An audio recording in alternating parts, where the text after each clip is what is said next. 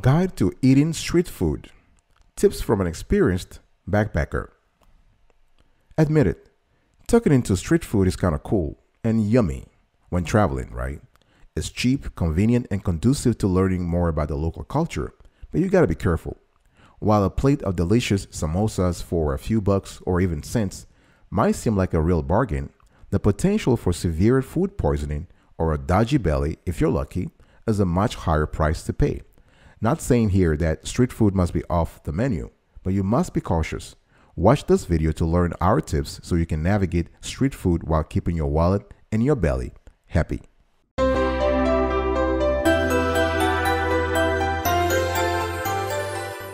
Welcome back, folks, to another edition of S'witty Kiwi. How are you doing today? I hope you are doing marvelous. I'm doing fantastic. If you are doing as great as I am, go grab a cup of coffee or tea or vodka and let's roll. Today, I'm particularly happy because we're talking about food and I love food.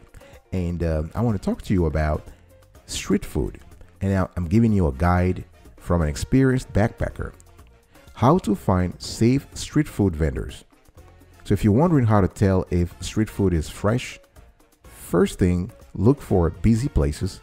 They are usually your best indicator that a place is popular and that happy customers keep coming back for more.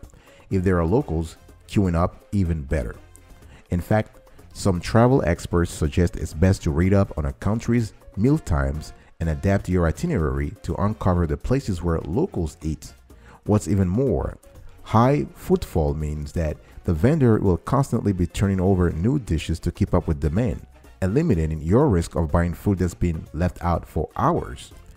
That's the first thing. The second thing is look at how the dish itself has been prepared. Ideally, it should be cooked from scratch in an open kitchen rather than being served up from a pot. This means that the food hasn't been hanging around too long, which can cause bacteria to fester. It also gives you a chance to take a look at the ingredients and the vendor's hygiene practices while they rustle it up. Otherwise, you really have no idea what went into a dish or how long ago it was cooked. If you can, you want to take a peek at the workstation be very thorough here. Are ingredients stored individually? Because, for, for example, raw meats should always be kept in separate containers to other ingredients. Is it free of insects and bugs? Are the vendors following basic hygiene practices like wiping tools and surfaces down? Do they use gloves to handle ingredients and change them when handling money? These are all factors worth considering. If in doubt, steer, steer clear. You can believe me on that because it's just not worth it. Finally, it's not just cooking tools you need to keep your eye on. Be aware of the tools provided to eat your meals too. To be on the safe side, bring your own or wipe down ones provided before using them if they're not the single use kind. Right? I'm talking about forks and, sp- and spoons here. How to safely buy meat from street food vendors. Dishes containing meat may be riskier to purchase, and in some countries, many travelers stick to vegetarian street food dishes only. Not only is undercooked meat dangerous, but if left out for long periods, bugs such as E. coli and Salmonella can quickly grow and cause serious bouts of food poisoning. There are a few things you can do to minimize your risk. Number one, order dishes with smaller cuts of meats. Smaller cuts since they are more likely to be cooked through properly. You want to opt for a dish that is cooked in front of you so you can be sure that the meat is fresh and not merely reheated. Make sure also that your dish is piping hot and cooked all the way through before you dig in. You may want to cut chicken through the middle to ensure it's not pink or bloody, right? This is kind of this is very important.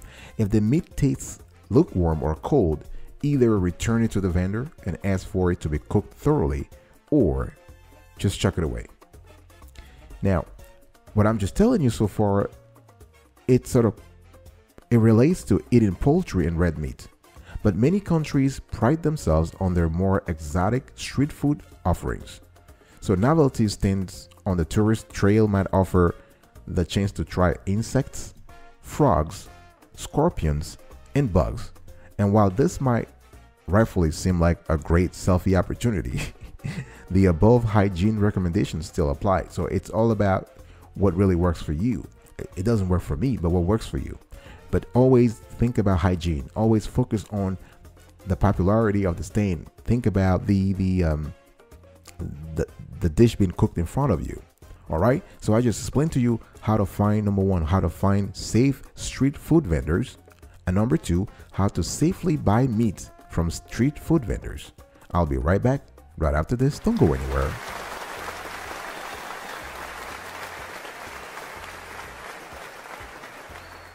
Welcome back, folks, to another edition of S'witty Kiwi. We're all having a conversation today around food, street food, and I'm giving you a guide to eating street food. And those that guide is coming from 20 years, 10 years from an experienced backpacker. Let's talk about how to safely buy fruits from street food vendors. You think that fruit will be safe, will be a safe street food bet, right? But there's always some things to consider when it comes to safety. When in doubt, peelable fruit is always the best option. Although the fruits will likely be fresher than what we used to in the United States, it could well have been washed in unsafe water that your tummy does not agree with. With this in mind, you cannot go wrong with fruit that can be peeled, like bananas, oranges, mangoes, and papayas. If stocking up on bagged fruits to take uh, on a trip, make sure it's chopped and peeled in front of you so you can see it's fresh and that the knife is cleaned. And consider giving it an extra rinse in bottled water to be on the safe side. How to safely buy cold food from street food vendors. Cold foods to look out for include prepared fruits, smoothies, and salads. In many Southeast Asian countries, for example, Cheap fruit smoothies from street vendors are a popular way to start the day. Assume always be on the safe side. You would assume this will be healthy, but you want to tread carefully. You may notice that vendors might add in syrups and sweeteners to disguise the taste of gone off fruits, perishable or perished fruit. Avoid this where possible. Always make sure the blending equipment itself is up to scratch. Is it being cleaned thoroughly between each serving? Does it look modern or on the edge of breaking down? Another issue is that ice is often added. Sometimes safe, bagged ice from filtered water will be used, but skip it unless you can be sure it's from a proper source. Also, take care when ordering dairy products in some countries. They might be unpasteurized, uh, unpasteurized which dramatically increases your chances of foodborne illnesses and exposes you to all sorts of nasty, nasty, nasty bacteria. So, depending on where you are, it could be preferable for you to order coffee or and black tea or carry, or carry around your own mini pots of long life milk. What about water? This is one thing we have uh, thought about while preparing this show. What about water? You can't live without water. You have to drink at least two or three um, liters of uh, water a day. When in doubt, filtered water is always best. Luckily, in backpacking hotspots such as uh, Latin America, Southeast Asia, bottled water is incredibly affordable. But to save both your pennies and reduce waste, it's highly recommended to invest in a travel water filter. It's easy to slip up and forget to be cautious of ice and foods washed in water, like salad and fruits. Be sure to ask for drinks without added ice. This is critical. When it comes to things like salad, eating cooked vegetables is a safer bet. What about allergies and intolerances?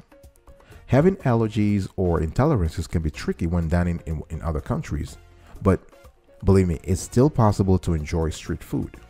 What you want to do is to research, you want to research popular local dishes beforehand. For example, if you are gluten free, mango sticky rice is a great Thai street food option. Right? So, nuts and other severe allergies are trickier and will require more in depth research when planning your trip, including speak with your, speaking with your doctor and seeking advice from fellow travelers. The thing here is that you have to just plan the trip beforehand you have to go on the internet, go on YouTube, and read more about the uh, read more about the dietary customs in the country where you are about to visit, the country or countries you're about to visit, and pay attention to three things. Like I said, pay attention to to meat, to water, and to the hygiene. So meat, water, and hygiene. When it comes to fruits, always prioritize the peelable ones. I'll be right back right after this. Don't go anywhere.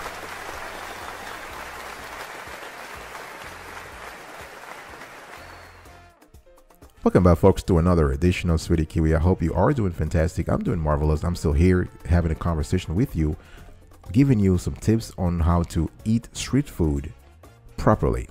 If you love this kind of content and love the clarity and quality of the content, please consider subscribing to our channel and turn on the notification bell so you are informed in real time whenever we drop a new show. And we drop this kind of shows every single day, rain or shine.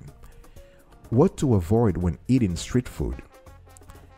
I want you to clearly keep these tips close to hand to avoid any misguided street food hiccups. I recommend that you always swerve the following dishes that appear to have been left out rather than freshly cooked, avoid them. Fruit that isn't peeled or baked fruit that isn't chopped in front of you, ice in drinks or fruit smoothies, milk, yogurt, and soft cheeses, salads, Vendors that don't use gloves or follow proper hygiene practice, those are big no-nos. Tap water, big no-no. So what is really safe? Dishes that are cooked from scratch with ingredients that are clearly stored separately. Cooked vegetables. Bottled water. Fruit that you can easily peel such as banana, papaya, mango, and orange. Busy vendors who are clearly popular with locals you want to always follow the cues. Vendors who follow hygiene practices such as changing their gloves and wiping down surfaces. Meat that's piping hot and cooked in small pieces. Ice made from filtered water. Bring in your own cutlery. Bring in your own allergen translation cards. This is it, folks. This is the recap. This is the end of today's conversation. I hope that this kind of gave you gave you uh, an idea of what the things you need to do, things you need to stay away from as you travel, and you can enjoy your travel and not bring food poisoning back to your home state. Here's a recap. I was talking to you today around how to find safe street food vendors, how to safely buy meat from street food vendors, how to safely buy fruit from the vendors, how to safely buy cold food from those vendors. What about water? What about allergies and intolerances? What to avoid when eating street food? And finally, tell you what is really safe. I will see you next time. And if you have to travel, have a safe trip and stay marvelous.